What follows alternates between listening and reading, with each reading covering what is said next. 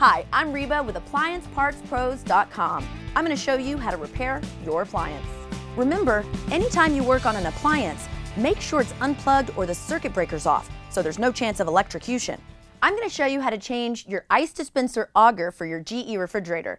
Now it's a quick repair, should only take a few minutes. If you already have the part, great. If not, you can click the link below or you can go to appliancepartspros.com. When you open the package, you'll get your ice dispenser auger. The ice dispenser auger rotates to pull the ice out of the bin so you can get it out of your refrigerator. If you're not getting ice or if it's not making ice, you might need to change your auger. Let's get started. Let's go into the freezer to get to the ice maker. All right, you'll notice there's even a picture right here on how to pull your ice bin out. Just pull it out like one of your crisper trays. And now we have access to the auger. Now that we've got the ice bin removed from the freezer, let's open this baby up. When you flip it upside down, you'll see two anchor screws right here. I'm going to use a Phillips head screwdriver to pull those out.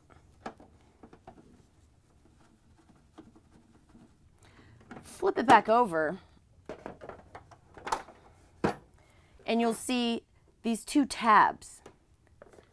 This is when two flathead screwdrivers comes in real handy kind of working like Edward Scissorhand here. Just insert the screwdrivers into the tabs, and you can pull, pull those tabs loose. So now the top part will come off. There's a third anchor screw underneath the cover. Go ahead and take that off too. Now that this anchor screw's out, you can release this pin.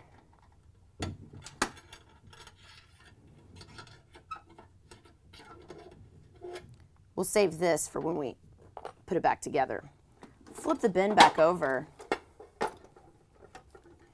And we've got to do that Edward Scissorhand move again. This time, there are two tabs located on either side. Get your screwdriver in there on both sides to press those tabs. Got to really wedge it in there.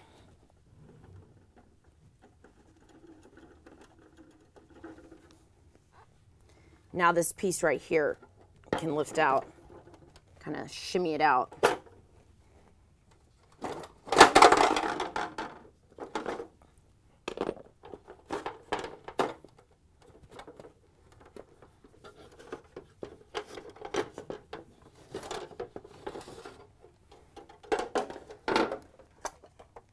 We're getting closer to our auger. This piece right here twists out.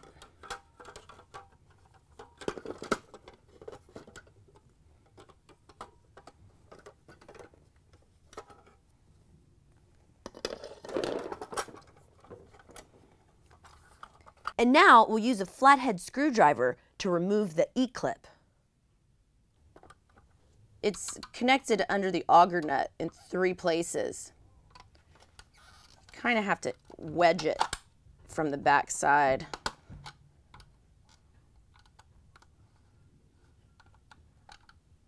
Just the top one first.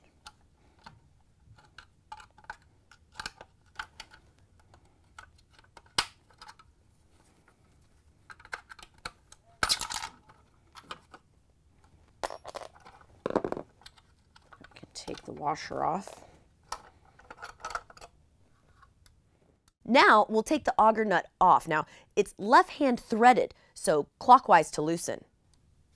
I'm using a pair of pliers here. Now that the auger nut is off, we'll take these blades out along with the washers, making sure to keep them in perfect order. You got to remember how they go because we got to put them on the new auger.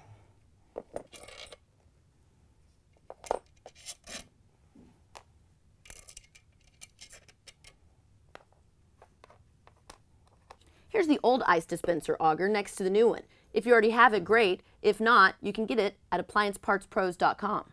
Remembering how we took our blades and washers off is very important. That's why I like to stack them in a line.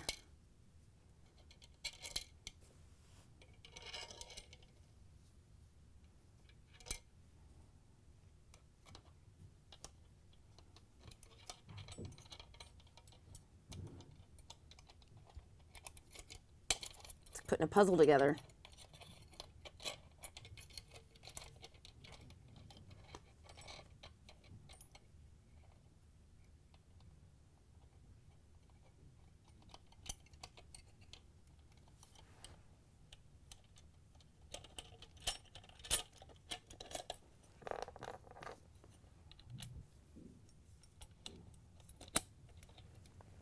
Now we'll put the auger nut back on.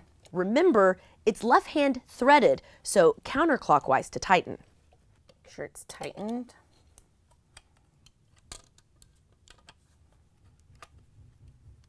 Once the auger nut is back in, we'll put it back in the housing.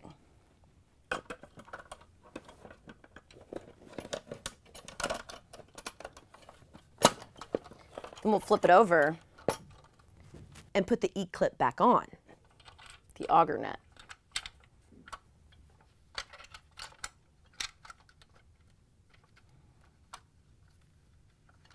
I'm going to wedge it back in there with this screwdriver.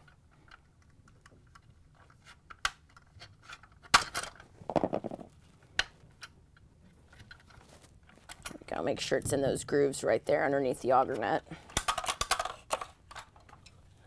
Now the faceplate is thread back through the auger with this compartment facing inside.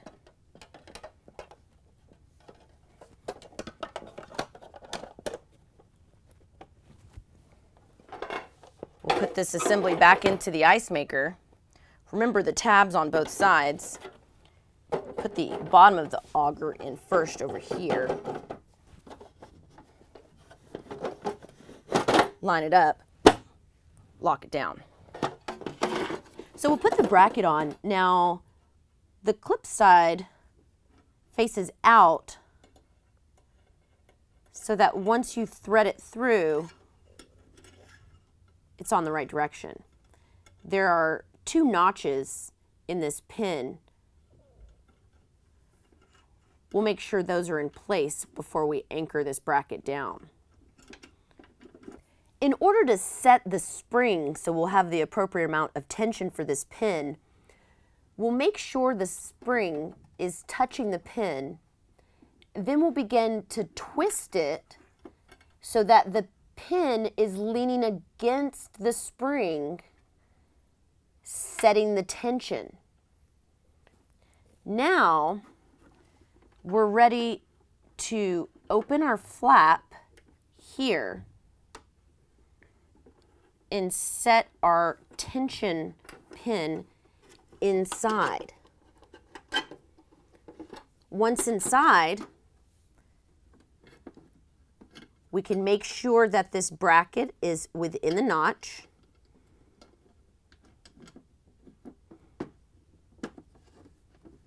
and put our anchoring screw in.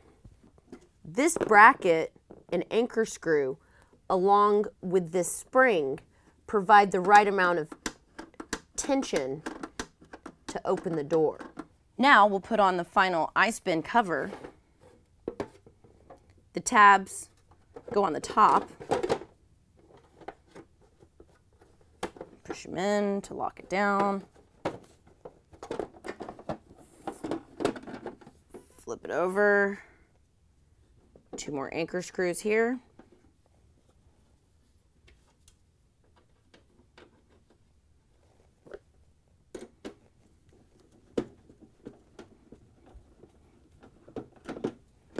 And we're ready to get this baby back in the ice maker.